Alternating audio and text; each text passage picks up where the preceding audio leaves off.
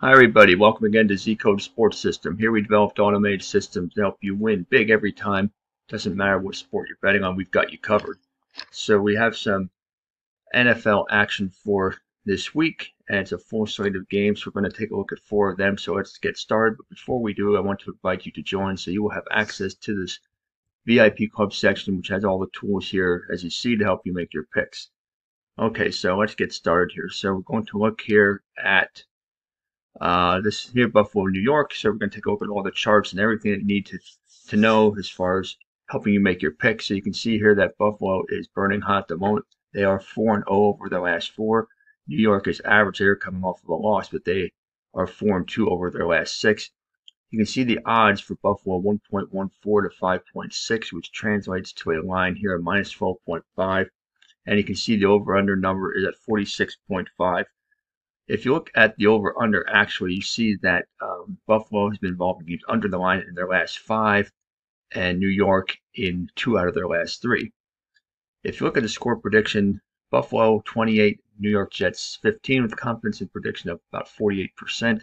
And you can see here up here 93% chance for Buffalo to win, only 7% chance for the Jets.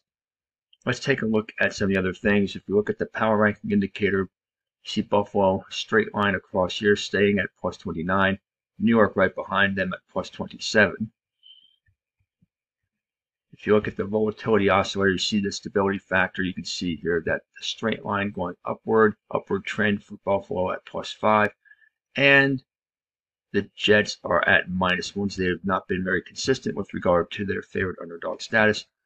So in the end here, I like the Bills on the road in a game going over the line, but would not be surprised to see the Jets cover. I mean, that is a big line of 12.5. So I think Buffalo to win, Jets to cover.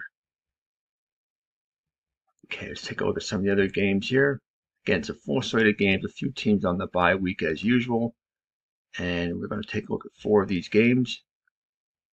Indianapolis, New England. Um, the next one we want to look at here is, go down through.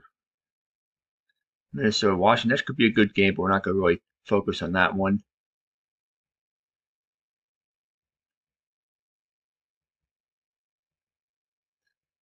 Okay, here we go. Chargers and the Falcons. We are going to look at this one. Okay. So you look at this one here. The Chargers come in average down. They're coming off of a loss, and they're three and one over their last four. While the Falcons are average up, they're coming off of a win, and they are two and two over their last four. You see the line here, the Chargers are road favorites by three and a half points with an over under 49.5. And you see the odds are 1.59 to 2.352. If you look at the over under, you see that Chargers have been over in four out of their last five games. And uh, Atlanta's been over in their last two, and overall three and three over their last five games as far as the over under goes. Uh, score predictor has the Chargers 30 to 29, confidence in prediction of 67%. And if you look here, it looks like it's a very very tight one here because uh, Falcons have a 51% chance of winning. So it's just barely better than a toss of a coin here. In the power ranks indicator, you can see Chargers on an upward trend from the end of last month, or actually the end of September. From one, they're all the way up to 26 now, and the Falcons have been up and down uh, all season with this, and they're now at plus 15. If you look at the stability factor, um, you see that the Falcons at plus four, the Chargers at plus two. So both teams are pretty consistently performing with regard to their favorite underdog status.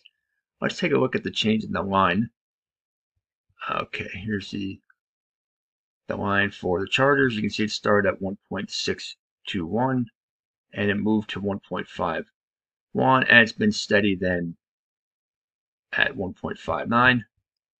So you can see here that the Chargers are nice favorites in this one. Not huge favorites, but they are nice favorites. And in the end, I do like the road team to win this one. I like the Chargers on the road to win, and I like this one to go over the line. Okay, so Los Angeles and Tampa Bay. In this one here, the Rams are road underdogs despite being um, average down compared to dead for Tampa Bay. You can see that the Rams have lost three out of their last four, but they're three three over the last six. Compared to Tampa Bay, losers of their last three, and they are just one and five over their last six. See the over under. You can see the Rams are over in their last game, but under in four out of their last five. Tampa Bay under in three out of their last four. Good indication that this game might go under the line. If you look at the line, it is at 42.5, and Tampa Bay is a 2.5 point home favorite. If you look at the score prediction here, you can see Tampa Bay 27-25 with 65% level of confidence in the prediction. Let's take a look at the power ranks indicator. You can see this chart here. Tampa Bay was at plus 30. They dropped to plus 8, and now they are up to uh, plus 19. Tampa Bay, on the other hand, was at plus 18, and they have dipped over the last few weeks, and they are down to plus 8. The stability factor, you can see on this chart here that the Rams are at plus 2 compared to Tampa Bay plus 1. So I'm moderately stable for these two teams, but they are not as consistent as they could be with regard to their favorite underdog status. Let's take a look at the money line. The Tampa Bay money line, it opened at 1.752. You can see it moved quite a bit to 1.549, then it has leveled off at 1.671. So in the end, I do like Tampa Bay to break their skid. They have to win sometime. I just think they're going to get out of it this week. I, I like them to win, but I like this game to be lower scoring, so under the line. Okay, so we, now we want to look at Tennessee and Kansas City. This one here is interesting because uh, Tennessee is burning hot winners of their last five, while Kansas City is average up. They are 4 and 2 over their last six, but a huge favorite for Kansas City. A little bit of a surprising line for it to be this big, but anyway, it's a 12.5 point line for Kansas City, odds of 1.14 to 5.6. The over under is at 45.5. Okay, so the score prediction, though, has it a lot tighter 26 25 in favor of Kansas City, and you can see 71.8% confidence. Look at this chart here, the power ranks indicator chart. You can see Tennessee up and down, up and down, up and down, but generally speaking, going upward. They're at plus 24. Kansas City was at 28 on October 16th, and they have dropped to plus 22. Let's take a look at the movement in the line.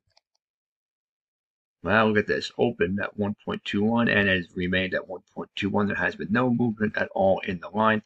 Um, it's remaining a huge favorite for the Chiefs in this one. So I do like the Chiefs to win at home in a game over the line, but I like the Titans to cover. And there was one more game that we're not looking at. So there you have it. Those are all the games for this week. Happy betting, and we will see you next time.